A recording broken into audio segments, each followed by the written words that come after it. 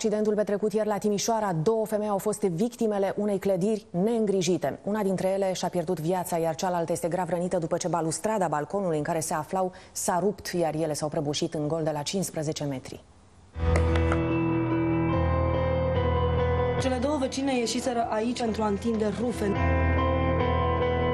Balustrada s-a desprins, iar cele două femei au căzut în gol. Tragedia s-a întâmplat în câteva secunde. Femeile s-au prăbușit din balconul de la etajul 4 sub privirile îngrozite ale vecinilor. Eram la bancă când a căzut balconul. Două doamne, a fost diferență de două secunde, cam așa între ele. Am văzut pe doamna când era întinsă.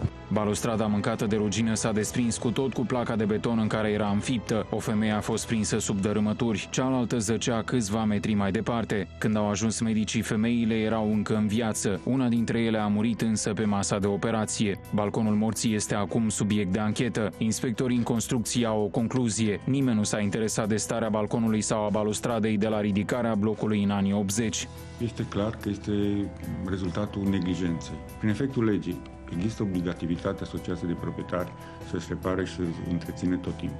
Nu s-a întâmplat fenomenul ăsta, s-a întâmplat coroziunea și de aici mai departe două victime omenești. Procurorii vor stabili cine sunt vinovații. Anchetatorii trebuie să afle dacă balconul a fost modificat de-a lungul anilor. Toate aceste modificări se fac în baza autorizației de construire. Expertul este singurul care poate să spună ce modificări structurale se pot face. Specialiștii avertizează că tragedia de la Timișoara se poate repeta. Pentru a câștiga câțiva metri, majoritatea proprietarilor din blocurile comuniste fac modificări. Balcoanele sunt preferate. Fără să se gândească dacă structura de rezistență poate suporta greutatea suplimentară, românii și-au zidit balcoanele și le-au închis în geamuri termopan. Balcoanele suportă uneori sute de kilograme de obiecte depozitate de proprietari, alteori nu suportă atâta greutate și cedează.